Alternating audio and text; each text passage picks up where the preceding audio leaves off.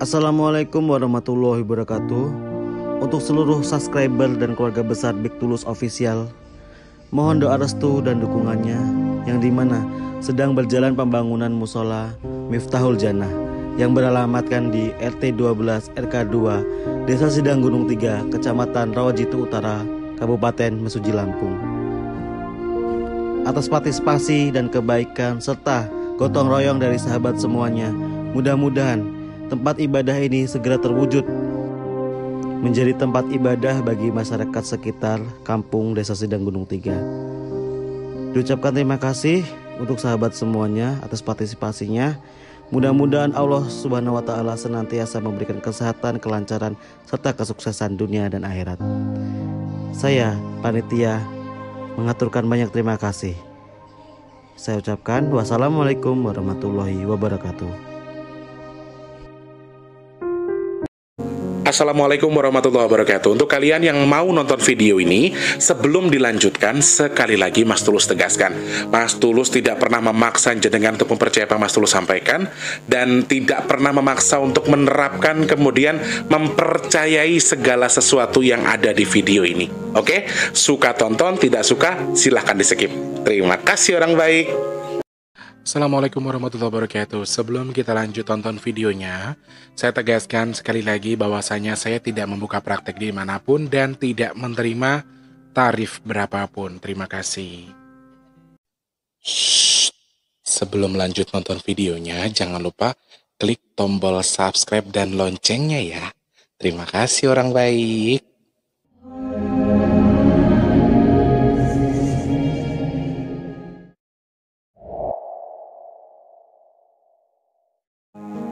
Assalamualaikum warahmatullahi wabarakatuh. Salam sejahtera untuk kita semua Dan juga salam jumpa untuk para subscriber Big Tulus Official Di mana pun kalian berada. Alhamdulillah Ketemu sama Mas lagi di kesempatan hari ini Di ke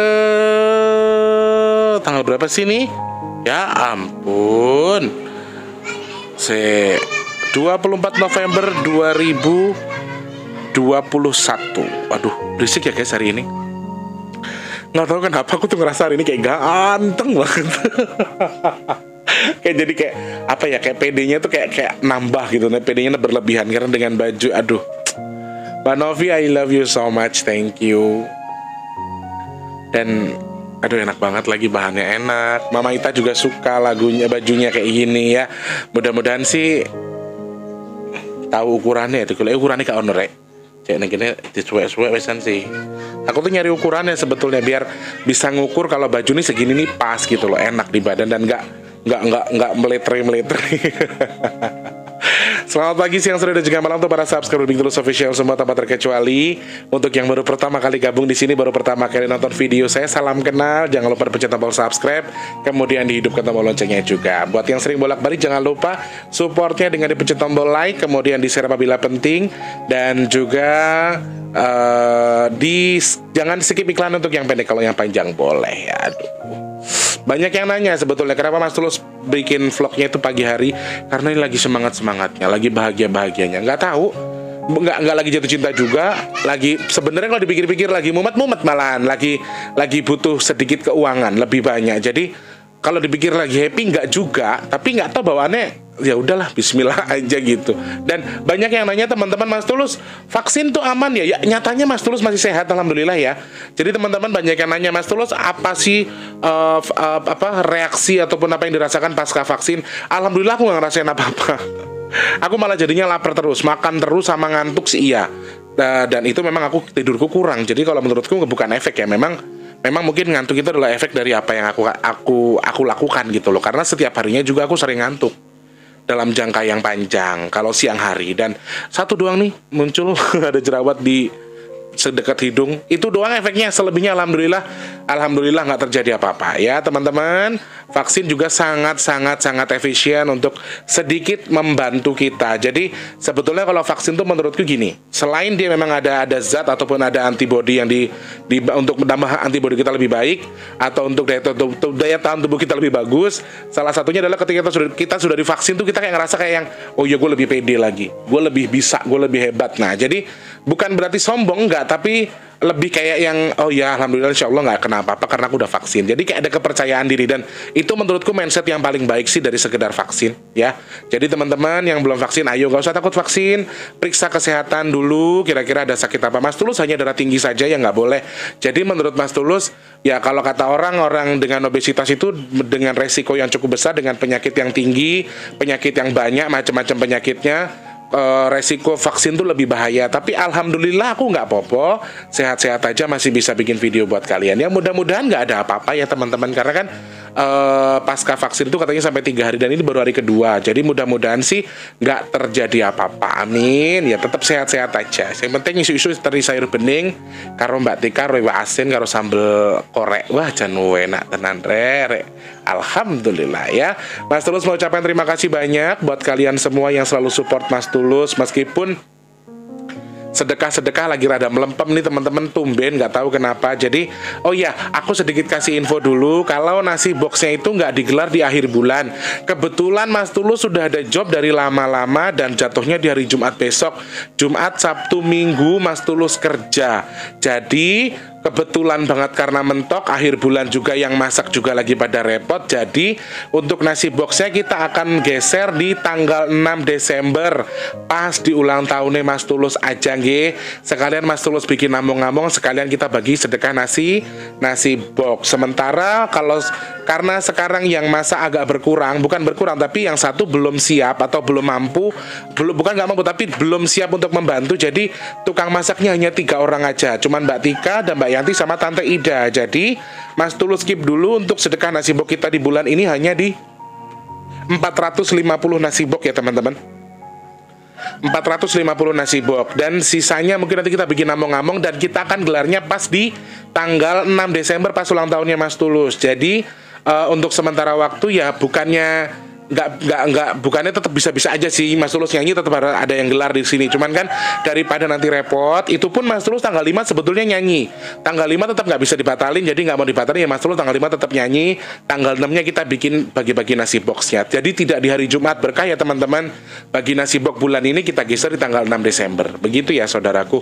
Ayolah bantu nasi boxnya. Teman-teman yang mau bantu nasi box gimana caranya Mas Tulus? Mas Tulus saya pengen sedekah buat masjid yang ada di depan itu loh. Yang di video terdepannya Mas Tulus gimana caranya. Saya juga pengen bantu buat sedekah nasi box gimana caranya Mas Tulus. Boleh klik kolom deskripsi ada nomor rekening BRI atas nama Tulus Rianto. Di situ kalian boleh uh, berpartisipasi untuk transfernya adalah kalau untuk nasi box itu minimal 10.000 maksimalnya unlimited kalau untuk masjid maksimal maksimumnya juga nggak ada jadi terserah klik kolom deskripsi sekarang juga ya teman-teman dan untuk yang membantu sedekah bumi yang akan kita gelar di akhir Desember nanti uh, silakan klik kolom komentar kirimnya ke rekening DBS yang ada di kolom komentar biasanya Mas Tulus pin paling atas Oke, terima kasih terima kasih banyak untuk yang sudah sedekah membantu rezekinya dengan ya sedekah apa pun yang kalian kirimkan mudah-mudahan bertukar dengan rezeki yang melimpah bertukar dengan keberkahan bertukar dengan kesehatan bertukar dengan diijabahnya segala hajatnya dengan semua. Melempem mergane mungkin karena awal akhir bulan kali ya jadi agak melempem karena mungkin akhir bulan belum ada gajian. Jadi awal bulan pas gajian mungkin bisa nyelipin timbang 10 atau 30 ribu buat bantu sedekah nasi nasi box. Nah teman-teman yang masih bingung, klik aja kolom deskripsi di situ ada Instagram, ada WhatsAppnya Mas Tulus. Langsung WhatsApp aja, Mas saya pengen bantu ini, tapi saya bingung caranya gimana gitu ya. Dan sekali lagi aku pengen banget sih sebetulnya kalau memang diizinkan sama Allah jumlahnya cukup sedekah bumi nanti kita nanggap wayang kulit juga di Jawa tidak harus di Jakarta tapi kita bisa nanggap wayang kulitnya juga di Jawa dan itu ya membutuhkan dana yang tidak sedikit. Jadi teman-teman yang mau bantu silahkan klik kolom komentar. Komentar paling atas biasanya ya. Oke. Okay.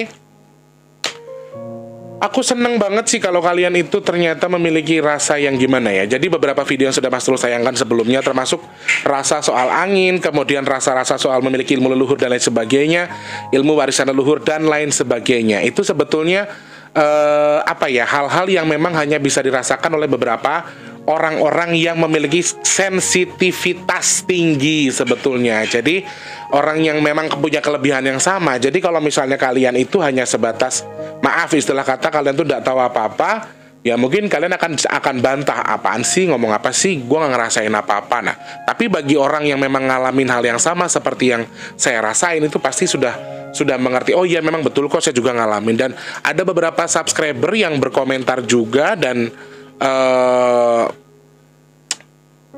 mem, apa namanya menanyakan ke aku hal yang yang sama seperti yang mereka rasakan. Dan kami itu sama. Dan mayoritas sih sebetulnya orang-orang punya ilmu warisan itu entah itu uh, kelebihan untuk ilmu apa ya. Jadi ilmu tuh macam-macam teman-teman ya. Aku juga sepingin mecah sedikit sih sebetulnya soal itu.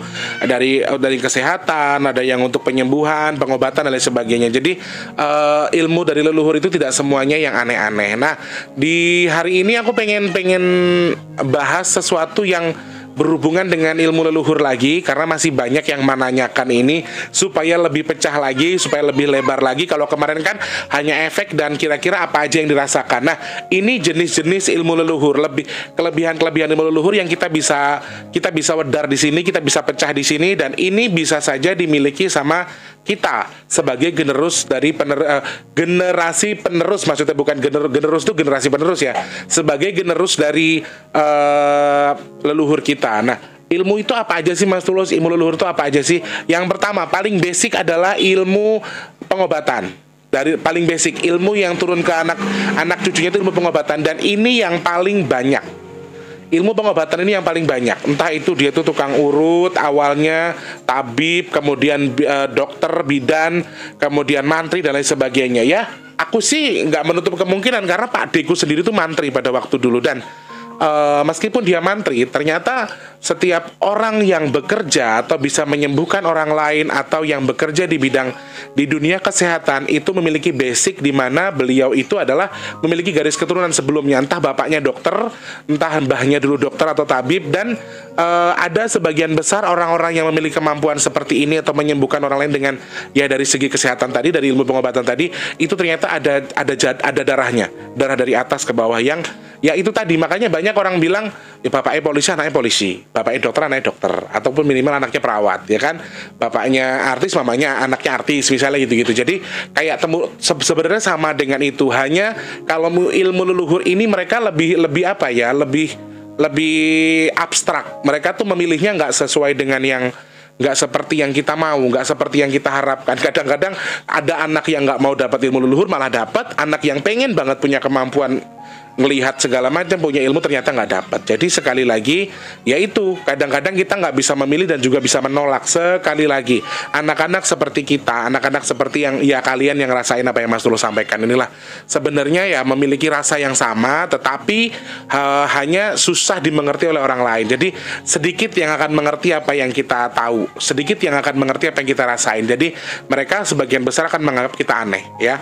Dah ilmu yang pertama adalah dari segi ilmu pe pengobatan. Ilmu pengobatan ini biasanya dimiliki oleh kalian yang tiba-tiba itu nggak tahu kenapa. Misalnya nih, misalnya ya, kalian tuh ternyata dulunya mbahmu itu atau leluhurmu itu ternyata tukang urut atau tabib atau intinya juru kesehatan pada waktu dulu di masa lalunya. Dan beliau memiliki khodam yang berfungsi untuk membantu pengobatannya. Entah itu urut entah itu segala macam. Tapi tiba-tiba semasa sekarang di usia kamu yang masih di antara 15, 25, 35, 45 begitu seterusnya ternyata kamu tuh tiba-tiba ngelihat temanmu sakit keseleo tapi tanganmu tuh seakan-akan kayak ngurut sendiri narik sendiri jalan sendiri. Toto kamu bisa ngurut Aneh nggak? Nah, itu kebanyakan paling banyak sih di tukang urut di nenek moyangnya dulu tukang urut terus punya khodam urut dan jatuhnya ke kita. Bisa nggak bisa tiba-tiba kita bisa ngurut. Anehnya di situ. Tiba-tiba ada yang ada yang terima kemudian menjadikan itu sebagai ya udahlah nggak apa-apa kalau jadi sumber rezeki. Oh nggak apa-apa kalau bisa bantu orang lain kan gitu-gitu. Tapi ada juga yang nggak nerima. Enggak enggak. Aku kan security. Enggak aku kan uh, artis. Enggak aku kan pedagang. Aku ini. Udah mendingan dagang aja daripada menggeluti itu. Ya sebenarnya hal-hal begini itu tidak ter, tidak perlu kita cetuskan. Maksudnya gini tidak perlu kita fokuskan. Kalau kamu bisa ngurut kamu bisa membantu orang ya bantu aja sesuka kamu. Tetapi pekerjaan yang pasti ya kerjaan yang pasti. Kayak tante Ida tuh buktinya sekarang jadi tukang urut. Ke mana-mana orang nyari dia. Karena orang tahu dia suka urut udah bertahun-tahun. Dan itu terjadi ya mungkin dia sendiri bingung kenapa dia bisa ngerti kok di sini uratnya dia bisa ngeliat gitu ya. Kalau menurut yang aku pelajari karena mbahku tuh tukang urut. Jadi mbahku dulu kalau ngajarin aku ngurut nih misalnya ya ada tangan temen atau tam, tangan temanku keselio dibawa ke situ terus mbahku tuh aku suka ngeliat mbahku ngurut ya. Le sing buat dulu titik gitu le titik itu. Jadi sebagian tukang urut itu gini antara dua. Yang pertama adalah tahu-tahu tangannya bergerak untuk ngurut yang sakit. Yang kedua adalah dia tuh punya mata batin yang bisa melihat kalau kalau di beberapa tempat atau di beberapa misalnya tangan ini keseleo, ada titik-titik putih yang harus kita pegang. Kalau mbahku yang kedua, dia melihat titik-titik putih itu secara gaib, secara secara secara, secara supranatural. Jadi mbahku tuh, le, si dibaca yang putih gitu le, tak gitu, sembuh, tak gitu sembuh. Jadi kayak yang di, ya, kalau mbahku ngajarinnya titik putih itu. Kalau mbahku, cuman sayangnya adalah aku tuh nggak bisa, aku nggak bisa ngurut, nggak jatuhnya di aku, jatuhnya ngurut bayi sama ngurut orang dewasa itu di almarhum mamaku sebetulnya.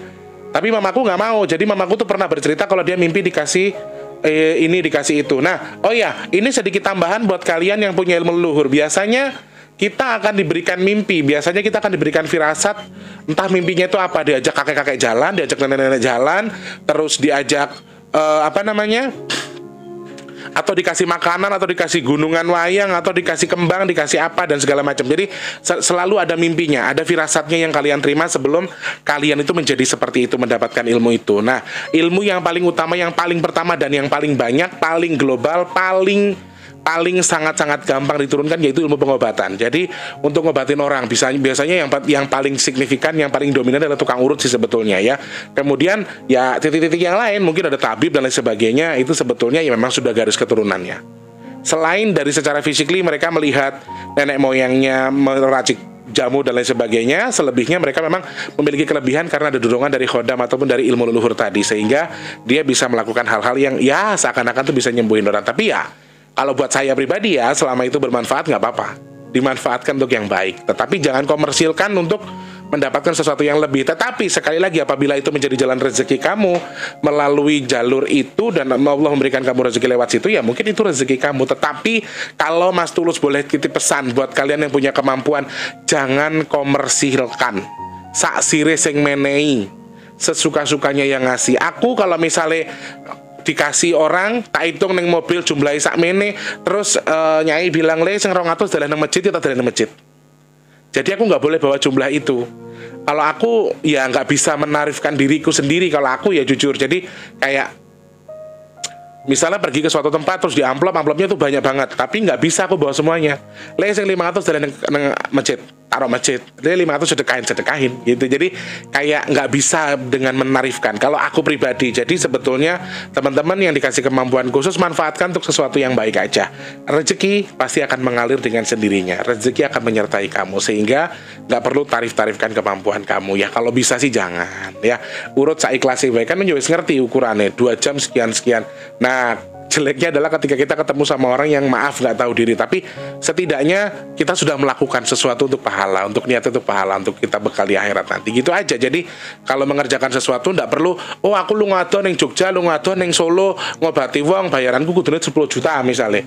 Kan nggak harus seperti itu. Orang juga tahu oh dari Jakarta ke Jogja kan jauh dari Jakarta ke Solo kan jauh berarti jumlahnya agak lumayan buat sekalian ngongkos. Kan gitu ibarat kata. Orang akan mengerti dengan sendirinya. Jadi tidak perlu kita narif. Kalau bisa sih jangan kalau bisa jangan, ya nggak boleh ya teman-teman ya. Lakukan kemampuanmu untuk membantu orang lain tanpa menarifkan apa pun. Tapi kalau kamu dikasih, hatimu nyaman, nggak apa-apa. Kalau dikasih terlalu besar, aku ki bola balik guys dikasih dengan jumlah yang besar, tapi nggak bisa aku terima. Jujur, Yokui ya mau makanya Mas Turusu nggak bisa terima seperti itu. Mudah-mudahan yang lain juga sama ya. Oke, itu dari yang pertama dari ilmu kesehatan, ilmu untuk segi dari ilmu pengobatan. Kemudian ada ilmu kanuragan. Ilmu kanuragan ini biasanya meliputi ya mau ilmu meraga sukma, kemudian uh, ilmu pagar diri, kemudian uh, ilmu apa ya? Ya untuk kekebalan dan lain sebagainya. Nah, ilmu-ilmu kanuragan ini yang sebetulnya, sebetulnya menurut Mas Tulus pribadi ya, kalau orang yang memang nggak betul-betul nggak bisa mengadopsi atau orang-orang yang bisa mengontrol diri sendiri sebetulnya nggak cocok. Apalagi kalian yang berjualan sesuatu yang berbau besi, sesuatu yang berbau logam, entah itu emas, entah itu besi, tapi kalian itu punya ilmu keturunan dari segi ilmu kanuragan tadi sebetulnya nggak cocok ya contohnya kamu buat jualan juga itu jualan aja kurang cocok apalagi bau sama jadi satu sama bau logam atau bau sumbernya yang dari dalam bumi itu sebetulnya nggak bagus. Karena sebetulnya ilmu kanuragan ini eh, sedikit dikatakan lebih keras daripada yang lain. Jadi lebih keras, lebih keras daripada eh, ilmu-ilmu uh, yang lain. Jadi ketika sangat keras, dia itu kalau di, di, digambarkan se sebagai bau, baunya persis banget kayak ilmu kanuragan itu ya, baunya persis kayak bau apa kayak jenenge teyeng dari besi itu loh guys. Besi yang karatan. Nah bau karat besi. Nah itu hampir sama. Makanya bagi kalian yang punya ilmu leluhur itu untuk jualan agak sulit ketika yang kalian jual adalah logam. Yang lain sih insya Allah masih aman-aman aja. Tapi kalau yang kalian jual tuh logam entah itu yang berbentuk logam misalnya kayak elektronik tapi yang ada logamnya itu agak susah. Tapi kalau jualannya makanan baju itu kan gak ada logam-logam yang kalian jual ya. Boleh kayak gitu. Jadi orang-orang yang punya ilmu kanuragan ini uh, menurut aku ya lebih ke uh, dari 100 orang mungkin yang berhasil berhasil mengontrol ilmu kanuragannya itu hanya 20 sampai 40 persen sehingga sebetulnya warisan ilmu leluhur yang dari segi ilmu kanuragan ini sebetulnya kurang bagus kalau menurut aku ya kurang bagus untuk anak sekarang karena ini sebetulnya didapatkan juga nggak gampang. Pada masa dulu kan buat berjuang, ya toh. Dulu tuh dimanfaatkan buat sesuatu yang bermanfaat. Misalnya kita lagi berjuang melawan penjajah, terus buat ya hal-hal yang oke okay, itu isinya mungkin bukan hodam yang bagus bukan bukan hodam yang oke okay, saya nggak bisa bilang se semuanya nggak bagus tapi uh, sedikit lebih keras ya mungkin positif tapi keras. Jadi terbawa juga di anaknya ini jadinya juga keras. Susah diatur nakal bandel. Kemudian dia tuh berwibawa tapi berwibawa yang sombong gitu loh. Nah lebih lebih gitu. Jadi kalau ilmu kanuragan uh, segi kanuragan ini macam-macam. Ya tadi larinya ke ilmu kebal pagar diri dan lain sebagainya. Sedangkan saya sendiri termasuk orang yang maaf kurang menyukai ilmu itu mau itu dibilang uh, saya ngapalin alhamdulillah kok Mas Tulus. Saya ngapalin surat Yasin kok Mas Tulus sekian kali. Makanya saya bisa kebal dan sebagainya. Saya nggak peduli tapi saya kurang suka. Karena saya sudah tahu khodam dari ilmu kebal ilmu kanuragan. Saya nggak bilang negatif saya nggak bilang jelek tapi lebih keras daripada khodam dari ilmu pengobatan. Lebih lebih lebih lebih slow lebih calling down. Jadi macam-macam ilmunya. Jadi kalau menurut Mas Tulus sendiri Mas Tulus cabangnya itu ada tiga. Ke apa namanya ilmu pengobatan ilmu kanuragan yang terakhir itu adalah uh, oke. okay, Sebetulnya segi yang terakhir nanti semuanya mengalami, semuanya mengalami, hampir semuanya mengalami. Jadi Mas Tulus bagi jadi tiga. Yang pertama adalah ilmu uh, dari il, segi pengobatan, kemudian ilmu kanuragan. Yang terakhir adalah maaf ini ilmu hitam, ilmu ya anggaplah ilmu yang tidak baik, ilmu yang tidak bermanfaat, ilmu yang justru bisa saja hanya dijadikan media uh, alasan juga bagi bangsa jin seakan-akan aku tuh dulu punya ilmu ini nih, padahal tuh apa istilahnya? Isi ilmu hitam tuh apa? Isi ilmu yang salah di nomor tiga tadi apa aja? Pesugihan, penglaris, kemudian ilmu warisan yang ilmu hitam yang macam-macam yang jelek-jelek, kemudian ngurusin keris yang isinya kodamnya jelek, kemudian ngurusin batu, ngurusin nah segala macam. Gaman-gaman jimat-jimat yang nggak bermanfaat. Nah, itu termasuk di kategori ilmu yang salah atau ilmu yang nggak bagus. Sehingga kalau buat saya pribadi itu sangat-sangat tidak relevan ketika kita harus memegang itu dan banyak yang tidak cocok banyak yang tidak cocok dengan sifat aslinya. Jadi yang dicari biasanya emang orang-orang yang bandel, nakal, sudah bandel dari sononya, nakal dari sononya, sehingga dia akan terbawa dengan posisi atau suasana ilmunya tadi. Hal yang yang berhubungan dengan ilmu jelek tadi dan biasanya itu didapatkan juga sesuatu yang tidak bagus. Misalnya dulu mbahmu tukang santet. Ya ini sebenarnya yang bahaya sih. Kadang-kadang oke okay, kita nakal, tapi belum tentu kita juga nakal hatinya. Oke okay, kita nggak baik, belum tentu kita nggak baik juga orangnya. Jadi hal-hal begini yang justru menyerang dirimu sendiri, menyerang kalian untuk uh, apa namanya, untuk lebih ya gimana ya? Beranggapan kalau kamu tuh begini kamu tuh begitu kamu tuh hebat dari segalanya kamu tuh bisa nyantet orang dan lain sebagainya. Nah tiba-tiba kamu bisa mengamalkan sesuatu. Jadi kamu tuh punya rasa yang cukup kuat rasa benci yang cukup kuat. Kebencian kamu itu kayak nggak beralasan gitu loh. Suka sama perempuan kamu tuh tiba-tiba bisa yang oh harus gue dapetin harus gue pelet harus segala macam. Jadi kamu tuh kayak kayak melakukan hal-hal yang di luar nalar kamu yang justru nggak baik. Sesuatu yang tidak baik. Nah, itu justru jelas-jelas ilmu yang salah. Ilmu yang sangat tidak baik untuk badan kita dan sangat-sangat tidak relevan untuk kita lestarikan. Harus dibu, harus dibuang kalau menurut saya. Jadi, ya ini kebanyakan orang-orang yang mendapatkan ilmu yang salah ini yang justru eh, sangat-sangat uh, apa namanya kurang bagus untuk dirawat. Nah makanya banyak anak-anak anak-anak sekarang yang tiba-tiba jadi dari apa ternyata sudah jadi tumbal. Ngakunya apa? Aku ilmu warisan leluhurmu. Gini gini gini gini gini. Nah itu sebetulnya adalah pesugihan. Pesugihan itu bisa turun temurun dan juga bisa menyakiti orang lain, menyakiti garis keturunan kita. Mau nggak mau, kalau jatuhnya ternyata garis keturunan ketujuh dan aku terterakhir, aku yang kena. Itu. Jadi gimana cara melestari eh gimana cara membuangnya Mas Tulus? Cari sosok yang bisa membantu itu. Pasti ada. Saya yakin dan percaya. Jadi uh, orang yang bisa membantu itu nanti dari segi ilmu yang nomor dua, ilmu kanuragan tadi. Nah, ilmu kanuragan tadi bukan berarti tidak baik ya teman-teman. Jadi ilmu-ilmu seperti ini bisa sangat dimanfaatkan.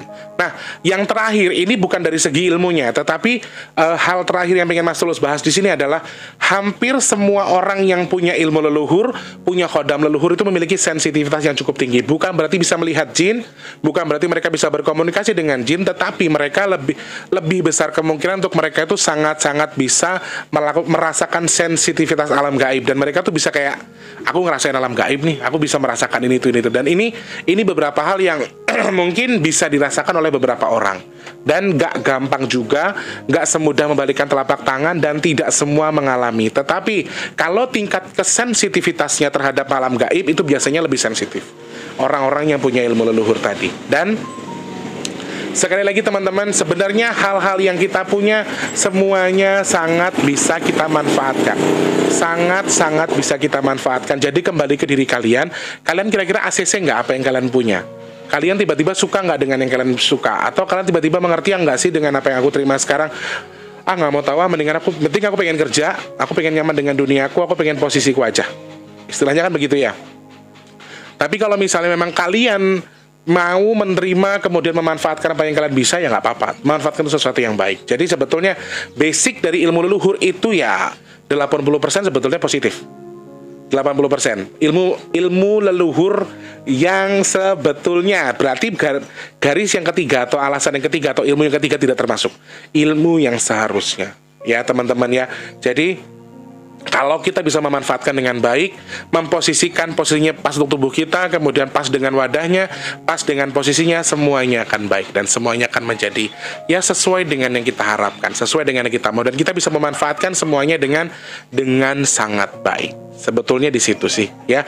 Mudah-mudahan ada nambah wawasan lagi. Ini bagian kedua dari dari pembahasan kita soal ilmu leluhur lagi dan ini termasuk beberapa jenis ilmu leluhur yang mungkin saja kita warisi dan ya kalau memang kalian tidak suka memiliki ilmu itu katakan dalam hati ya Allah, aku nggak apa-apa memiliki kelebihan darimu ya Allah. Tetapi aku ikhlas menerima cobaan ini godaan ini. Semua itu cobaan teman-teman. Kamu bisa melihat jin kamu punya kemampuan khusus kamu punya ilmu leluhur. Semua ujian dari Allah. Bagaimana kamu bisa menghadapi semua? Jadi kamu katakan sama Allah saya nggak apa-apa ya Allah saya ikhlas. Tapi kalau emang ini baik silakan manfaatkan semanfaat manfaatnya tetapi apabila tidak tolong jauhkan dari tubuhku ya Allah. Dan jangan jadikan ini sebagai media untuk perusak akidah dalam aku beragama, dalam aku menyembahmu. Jadi doanya sama Allah begitu aja. Sering sering kirimkan Al-Fatihah untuk tubuh kita sendiri. Jadi kalau misalnya pas lagi baca Yasin nggak ada salahnya begini nih.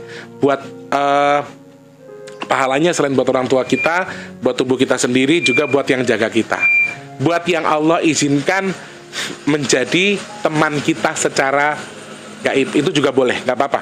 Itu bagus. Jadi untuk meluluhkan si khodam supaya lebih manut sama kita. Intinya seperti itu. Tapi kalau yang yang udah baik-baik sih insya Allah semuanya akan jadi baik ya. Mudah-mudahan saya dan juga jenengan memiliki khodam-khodam ataupun memiliki kalau memang kalian memiliki garis ilmu leluhur mudah-mudahan ilmunya yang baik ya teman-teman ya. Amin ya Allah amin ya Allah amin ya Allah. Semoga menambah wawasan lagi untuk hari ini. Ada beberapa hal yang bisa kita pelajari. Sekali lagi Mas Tulus tidak memberikan wejangan. Kita sama-sama belajar kita sama-sama mengulas ini untuk memahami oh oh ternyata ada ini ini ini ini untuk belajar sama-sama. Bukan jadi guru tapi kita sama-sama belajar oke? Okay? sebelum kita closing kita doa dulu teman-teman yang mudah-mudahan Allah ijabah doa kita dan juga uh, Allah jadikan itu betul-betul terrealisasi tubuh kita. Amin amin amin amin. Ya rabbal alamin. Bismillahirrahmanirrahim Ya Allah ya Tuhanku yang maha pengasih lagi maha penyayang Ya Allah untuk hamba dan juga para subscriber hamba yang mungkin di tubuhnya sedang dalam kondisi sakit Ya Allah ada gangguan jin, gangguan apa pun Ya Allah covid dan lain sebagainya Sakit medis maupun non medis Ya Allah atas ilmu atas kehendakmu semoga kau izinkan sakitnya sembuh Ya Allah amin. Untuk mereka semua Ya Allah hamba dan juga para subscriber hamba yang mungkin saat ini sedang susah rezekinya Semoga kau limpahkan rezeki kami yang berkah barokah Ya Allah amin. Untuk yang punya utang piutang Ya Allah seperti hamba dan juga para subscriber hamba yang memiliki tanggungan utang piutang Atas sistem atas kehendakmu Ya Allah semoga kau izinkan utang kami terlunasi ya Allah. Amin. Untuk mereka semua yang lain belum belum bertemu dengan jodoh terbaiknya semoga lekas keberikan jodoh terbaik untuk mereka ya Allah. Amin.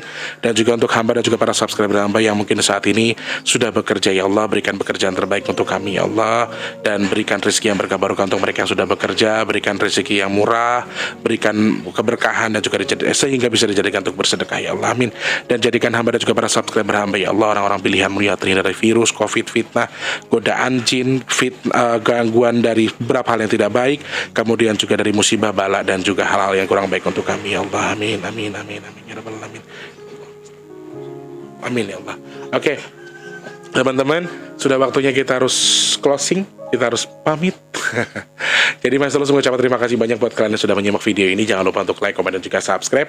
Untuk yang menyukai dan saran bisa langsung klik kolom komentar. Dan juga Mas Tulus minta sedekahnya dengan tidak men-skip iklan ya. Ayo teman-teman yang bantu sedekah bumi, sedekah nasi box, sedekah maci, silahkan klik kolom deskripsi. Bisa langsung hubungi Mas Tulus saja ya. Terima kasih banyak. Selamat pagi, siang, sore, dan juga malam. Sampai jumpa. Wassalamualaikum warahmatullahi wabarakatuh. Maaf-maaf ya kalau ada kata-kata yang salah. Dadah.